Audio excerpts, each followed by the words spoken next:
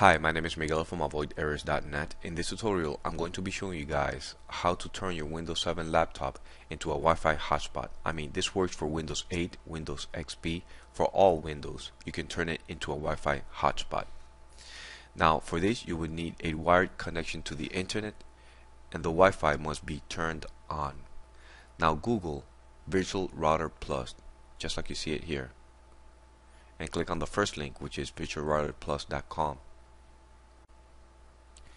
Here, scroll down a little bit to click on the down arrow so you can download the latest release. Again, scroll down a little bit and select the download site which is closest to you for faster download.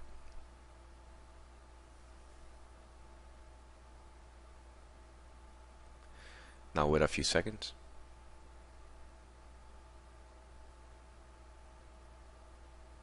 Perfect, your download is ready. Go ahead and save it. I'm using Firefox. I can go ahead and run it from here or go to the download uh, folder. Perfect. Just double click to run. Yes to your UAC.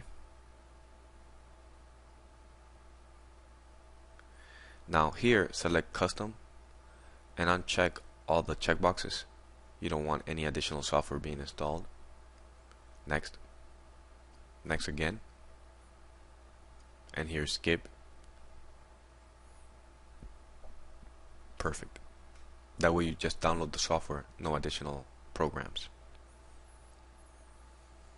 Next. And here in your case it should say finish but since I already have it installed it tells me to modify or repair it so I'm going to go ahead and click on cancel. In your case, it'll probably say finish and run the program. So this created a desktop icon. I'm going to close the remainder windows here. Here it is. Just double click to run. Again, yes to the UAC. And it'll open the Virtual Router Plus window. Here you can change the SSID like I did change the password, but it must be 8 characters long, and the shared connection must be local area connection, the wired connection to the internet. That's what you're going to share. And start Virtual Router Plus. Perfect. Virtual Router Plus now is running.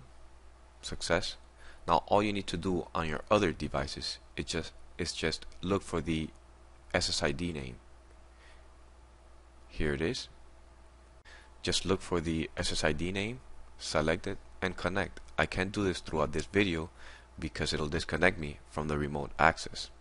Now, if you want to stop the Virtual Router Plus, all you need to do is click on the icon from the notification area and click Stop Virtual Router Plus.